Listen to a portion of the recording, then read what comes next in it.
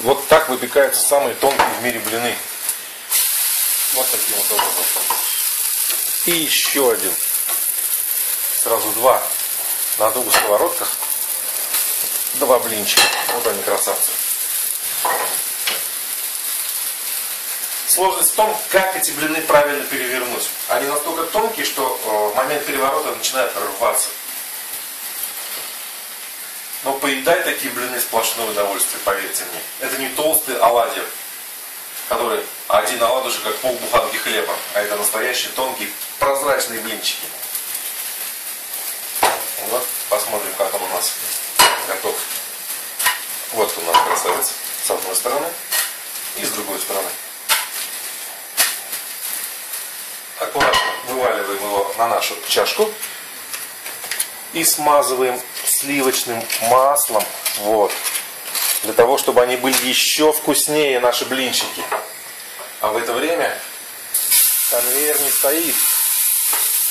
Процесс безостановочный. Сковородка постоянно разогревается и постоянно подходят новые блинчики для того, чтобы быть смазанными маслами. Быть смазанными маслом, потом уже съедены. Так, этот блинчик мы смазываем также маслом.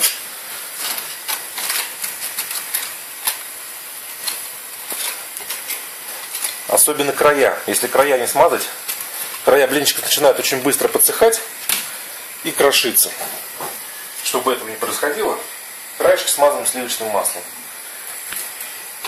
Ну и для вкуса, конечно же, как без этого. И вот, красавица.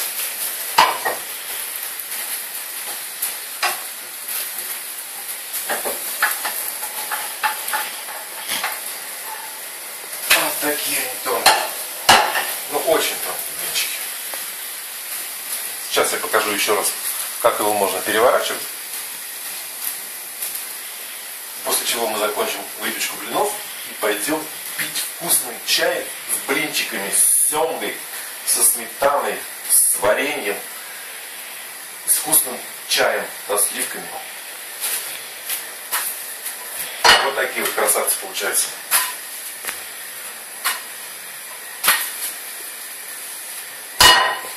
И еще один.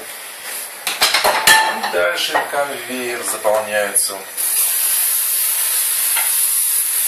Самое главное размазать тесто по сковородке, чтобы блин был как можно тоньше и как можно однороднее. Вот так.